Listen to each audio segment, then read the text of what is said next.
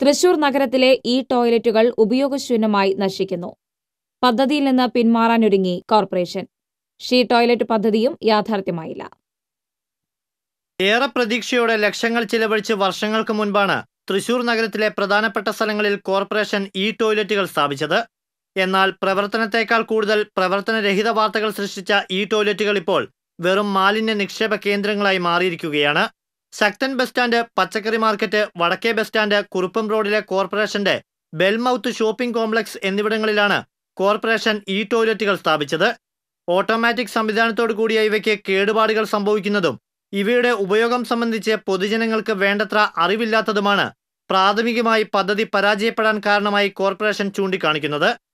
ലക്ഷങ്ങൾ മുടക്കി അറ്റകുറ്റപ്പണികൾ നടത്തുമ്പോഴും പുനരുപയോഗത്തിന് ആളുകൾ തയ്യാറാകാത്തതും ഈ ടോയ്ലറ്റുകളെ നോക്കുകുത്തിയാക്കി.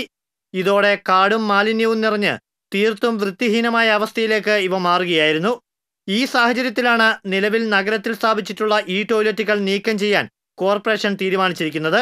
ഇതിന് പകരമായി സാധാരണ ശൗചാലയങ്ങൾ സ്ഥാപിക്കാനാണ് കോർപ്പറേഷന്റെ നീക്കം.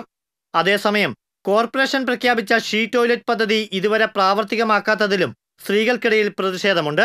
മേയർ ഡെപ്യൂട്ടി മേയർ അടക്കമുള്ള ഭരണസ്ഥിരാ പദവികളിൽ വനിതകൾ ആണെന്നിരിക്കെ സ്ത്രീകൾക്ക് ഏറെ ഗുണകരമാകുന്ന ഷീ ടോയ്ലറ്റ് പദ്ധതി നടപ്പിലാക്കണമെന്നാണ് പൊതുജനങ്ങളുടെ ആവശ്യം. ഇതേസമയം ഷീ ടോയ്ലറ്റ് പദ്ധതിക്കുള്ള എസ്റ്റിമേറ്റ് നടപടികൾ പൂർത്തിയായതായി ഡി പി സി അംഗം വർഗീസ് കണ്ടംകുളത്തെ ടി സി വിയോട് പറഞ്ഞു. T C V Thrissur